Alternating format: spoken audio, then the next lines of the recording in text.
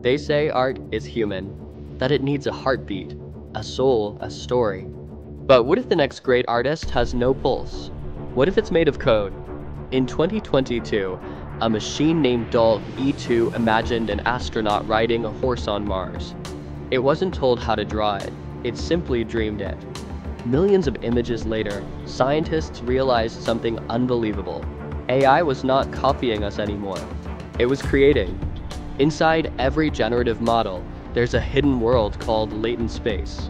A secret studio where machines mix ideas like colors, light, freedom, ocean, pain to the AI.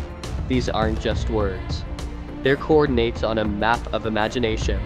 In 2024, researchers at DeepMind visualized this hidden map. They found that AI paints feelings as geometry. Hope becomes gold, fear becomes gray, love becomes symmetry. Every brushstroke is math, every melody, a pattern of probability.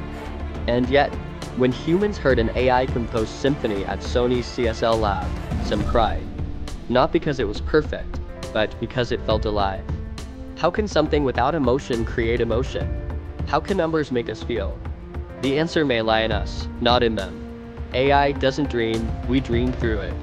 Maybe beauty isn't a human invention. Maybe it's a universal language and machines are just learning the grammar.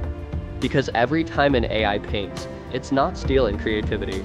It's revealing a mirror, showing us what imagination really is, a pattern waiting to be found. Powerflow, when code becomes art. Subscribe now and witness the birth of a new kind of creator.